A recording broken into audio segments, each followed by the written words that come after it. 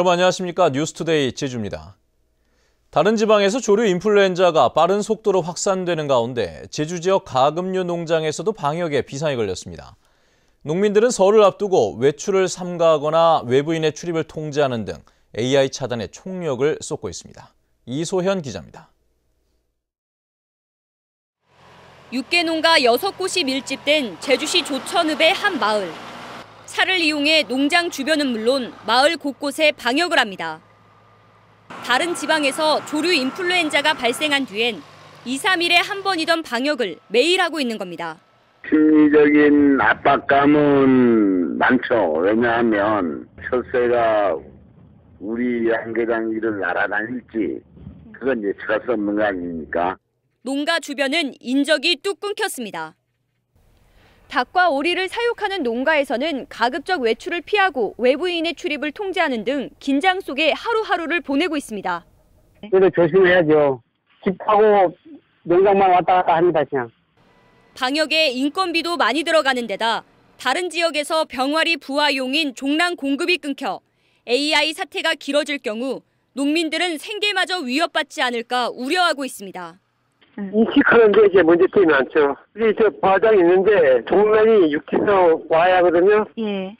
그러니까 그게 이동 조치가 좀 풀려야 되는데 AI가 사람을 통해서도 전파될 가능성이 높아 농민들은 가금류 농가나 철새 도래지 방문을 자제해 줄 것을 간곡히 바라고 있습니다. 특히 제주에서는 귀성객과 관광객이 크게 늘어나는 설 연휴가 AI 유입에 고비가 될 것으로 보고 농민들은 긴장의 고삐를 바짝 죄고 있습니다. MBC 뉴스 이소연입니다. 관광업소에 손님을 보내주는 대신 수수료를 받는 관행은 제주 관광 비용을 높이는 고질적인 병폐로 꼽혀왔는데요. 제주 지역 전세버스 업계가 이 같은 송객 수수료를 없애겠다며 전국에서 처음으로 협동조합을 만들었습니다. 조인호 기자입니다. 단체 관광객들로 붐비는 서귀포시의 한 관광지 주차장. 일정을 마친 관광객들이 다음 행선지로 떠나기 위해 전세 버스에 오릅니다. 그런데 이들의 일정에는 입장료가 비싼 사설 관광지나 기념품 판매업소들이 끼어 있는 경우가 많습니다. 여행사에서 받는 운임이 적다 보니 이런 업소에서 송객 수수료를 받을 수밖에 없다는 게 전세 버스 운전기사들의 이야기입니다. 저가 상품으로 오다 보니까 뭐 제주도 여행사 입장에서도 어 수익 창출을 위해서는 어쩔 수 없이 옵션을 강요하든지 서핑을 강요하는 도내 전세 버스 업체들이 이 같은 관행을 개선하겠다며 협동조합을 만들었습니다.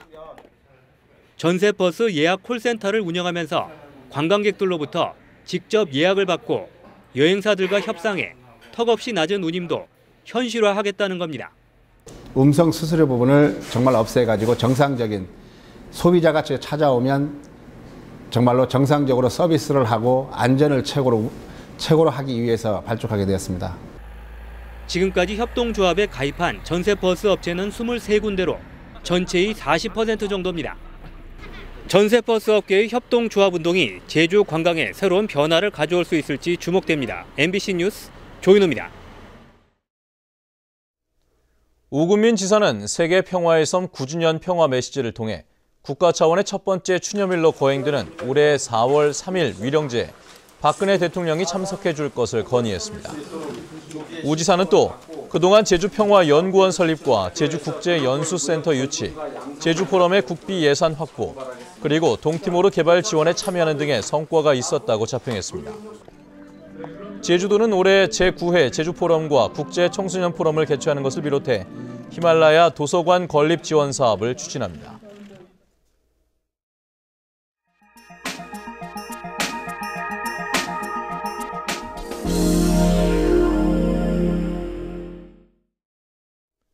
제주에서도 항만 건설로 인해 모래 퇴적이나 파래 이상 번식 등의 부작용이 나타나고 있는데요. 강원도 삼척시 궁촌항이 새로 건설되면서 인근 해안에서 모래가 쓸려 나가는 침식 피해가 심각하다고 합니다. 삼척문화방송 조규환 기자의 보도입니다. 삼척시 근덕면 초곡항이 입구입니다. 바닷속 모래가 훤히 들여다 보일 만큼 수심이 매우 얕습니다. 수심을 재어봤더니 2m가 겨우 넘습니다. 배들이 안전하게 항구를 드나들려면 수심 4, 5m가 확보돼야 하지만 이곳은 절반밖에 되지 않습니다. 이곳은 모래가 퇴적돼 지난해 9월 4m 이상으로 준설했지만 불과 넉 달밖에 안 됐는데 모래가 또 쌓인 겁니다. 최근에 항구로 들어오르던 15톤짜리 어선이 쌓인 모래에 걸리는 사고도 났습니다. 입수량이 문제가 되고요. 그다음에 항구에 모래가 들어오면 항내 에, 태풍이 오면은 항내 파도가 많이 돌기 때문에 선박들이 굉장히 위험을 느낍니다. 선박들이. 어민들은 3km 떨어진 곳에 궁촌항이 건설되면서 인근 해안에서 깎여나간 모래들이 이곳으로 밀려 들어온 것으로 추정합니다. 3, 4년 새 퇴적이 심해지자 삼척시도 바다를 자주 준설하고 있습니다. 모래가 유입되는 쪽으로 콘크리트 구조물을 쌓았지만 문제가 해결될지는 미지수입니다. 물리적인 현상이라는 것은 매우 복잡하기 때문에 이런 것을 갖다 충분한 원인을 갖다 규명한 후에 설치를 해야지 그 바로 응급으로 했다고 하게 되면 또 다른 문제를 야기시키기 때문에 해안이 무분별하게 개발되면서 침식과 퇴적이 날로 심해져 어민들의 고충이 커지고 있습니다. MBC 뉴스 조규환입니다. 제주도 출연 기관인 제주테크노파크의 조직 운영이 엉망인 것으로 드러났습니다. 감사위원회는 모두 22건의 부적정 사항을 적발하고 간부 직원의 중징계를 제주테크노파크에 대해서는 지휘 감독의 책임을 물어 기관 경고 처분을 요구했습니다. 현재훈 기자가 보도합니다. 제주형 글로벌 강소기업 육성 거점 기관을 목표로 지난 2011년 지식산업진흥원과 하이테크산업진흥원이 통합 출범한 제주 테크노파크. 하지만 조직 운영과 인사 시스템은 엉망인 것으로 드러났습니다. 부서장인 S씨의 경우 다른 지방 출장을 이유로 전날 업무 시간에 제주를 떠나는 등 6차례 걸쳐 근무지를 무단 이탈하고 출장비를 규정보다 많게 지급받았다 감사위원회에 적발됐습니다. 특히 자신이 참여하지 않는 연구 논문에 이름을 올리라고 요구했는가 하면 연구 논문을 가로채기도 했습니다. 답장보다 그 멘토장이 자기 이름 안 넣으면 답할 수 없다고 해버리니까 그 이름 하면 안 된다. 그러니까 이제 그 이런 부분에 이해가 생겨버린 거죠. 감사위원회는 이 간부 직원에 대해 파면과 해임 등 중징계를 요구하는 한편 지휘 감독의 책임을 물어 테크노파크에 기관 경고를 요구했습니다. 어떤 부분에서 시스템적으로 문제가 있는지 이러한 부분을 면밀히 관찰해서 어, 저희의 규정이라든지 규칙, 지침 이러한 부분에 어, 다시는 이러한 일이 없도록 제주도 출연 기관인 제주 테크노파크의 방만한 운영과 구멍난 인사 시스템이 적나라하게 드러나면서 조직 전반에 대한 대대적인 수술이 불가피해졌습니다. MBC 뉴스 현재훈입니다. 다음은 희망 2014 나눔 캠페인 성금을 보내주신 분들입니다. 북경 중국어 어학원 황인호 원장이 200만 원을 보내주신 것을 비롯해 제주특별자치도 청소년활동진흥센터에서 13만 2,060원, 제주특별자치도 학원연합회 김경식 회장이 20만 원, 월랑초등학교 6학년 박서연, 명지어린이집 코끼리반 박현우 남매가 38만 2,790원, 하나로 국제예술단 어린이들이 3만 9,600원, 제주시 진진 국수 전문점 박영훈 대표가 10만 원, 대정읍 동일리 부녀회에서 20만 원, 해오름 간병회에서 20만 원, 헤어스케치 정창주 대표의 직원들이 50만 원, 기아 오토큐 오라점 변창하 대표가 60만 원, 타타 대우상용차 제주지점 직원들이 50만 원, 한경면 저지리 김용범 씨가 만 원을 희망나눔 성금으로 보내주셨습니다. 성금은 이달 말까지 받습니다. 제주 MBC와 사회복지 공동 모금회로 문의하시거나 농협 또는 제주은행 계좌를 이용하시면 됩니다. 감사합니다. 어젯밤 9시쯤 서귀포시 서홍동의 한 가정집에서 사용 중이던 전기 담요에서 불이 나 전기 담요와 침대 매트리스 등을 태우고 10여 분 만에 진화됐습니다. 소방당국은 전기 담요가 과열되면서 불이 난 것으로 보고 정확한 화재 원인을 조사하고 있습니다.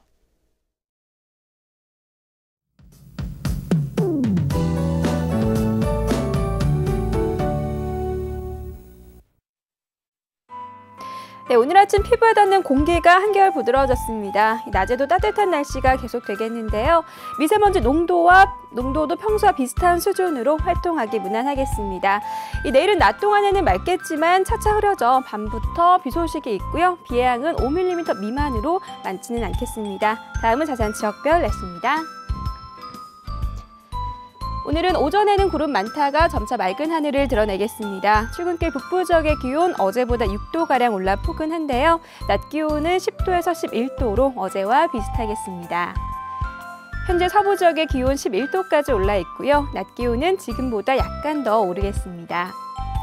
네, 남부 지역도 평년 기온을 5도에서 7도가량 크게 웃돌면서 봄처럼 따뜻한 날씨가 이어지겠습니다. 동부 지역은 어제 같은 시각보다 기온이 6도 정도 높은 가운데 낮 기온은 13도까지 오르겠습니다. 네, 성판하기 현재 기온 3도로 영상의 기온을 회복한 모습입니다. 섬지역은 가끔 구름만 지나겠고요. 종일 11도 안팎의 기온을 유지하겠습니다. 해상에는 물결이 잔잔하게 일겠습니다. 네, 현재 김포와 인천공항에는 옅은 안개가 낀 가운데 청주공항에는 진눈깨비가 날리고 있습니다. 네, 이제 설 연휴 며칠 남지 않았는데요. 춥지는 않겠지만 비 소식이 잦습니다. 이 설날 당일을 제외하고는 연휴 내내 비 예보가 들어와 있는데요. 예, 오고 가는 길 최신 기상 정보 잘 참고하셔야겠습니다. 날씨였습니다. 제주도 교육청은 올해 교육복지 예산으로 지난해보다 34% 늘어난 770억 원을 확보했습니다. 이에 따라 저소득층 교육비 지원 기준을 최저 생계비의 130%에서 150%로 확대하고 초등 방과 후 돌봄 교실 대상도 초등 1, 2학년 전체로 확대 적용합니다. 분야별로는 저소득층 학생 학비 지원에 70억 원, 급식 지원 74억 원, 방과 후 학교 운영 지원 78억 원 등입니다. 다음은 문화예술계 소식과 생활 정보를 정유진 아나운서가 전해드립니다. 설문대 여성문화센터에서는 제주 여성의 삶의 역사를 보여주는 다양한 유물을 선보이는 개관 4주년 기념 특별전 어들의 감수강을 3월 28일까지 마련합니다. 제주 출신 화가 김성란 개인전이 오늘부터 다음 달 5일까지 제주도 문예회관 제2전시실에서 열립니다. 제주 카메라 기자회가 마련하는 2013 보도사진 영상전이 내일까지 제주도 문예회관 제1전시실에서 열립니다. 서귀포시 기당미술관에서는 3월 2일까지 아름다운 한국의 산하 기획 전시회를 마련하고 빼어난 풍경을 표현한 작품들을 선보입니다. 시낭송 모임인 파란나비에서는 두 번째 4.3 추모시 낭송집 CD를 제작했습니다. 이번 낭송집에는 잃어버린 마을과 제주섬 동백꽃 지다 등 14편의 4.3시가 수록됐습니다. 제주 다문화가정센터는 설명절을 맞아 다음 달 1일 오후 1시부터 제주시 남광초등학교 실내체육관에서 다문화가정과 외국인이 참여하는 설 전통문화 체험축제를 마련합니다. 제주시 조천읍에 있는 함덕신용협동조합에서는 금융 관련 사무원 한 명을 채용합니다. 급여는 월급 150만 원 이상으로 자세한 사항은 783국에 8453번으로 문의하면 됩니다. 생활문화정보 정유진입니다. 새 봄을 맞이하는 2014 탐라국 입춘굿이 다음 달 2일부터 사흘 동안 제주목 관하 일대에서 열립니다. 제주 민족예술인 총연합회 주관으로 개최되는 이번 입춘굿은 2일 전야굿을 시작으로 3일 놀이굿에 이어 입춘날인 4일에는 본굿이 풍성하게 펼쳐집니다. 특히 전야굿이 열리는 첫날에는 옛 도심의 수호신인 이르객에 지내는 전통제와 제등 행렬 거리 행진이 중앙로 일대에서 진행됩니다.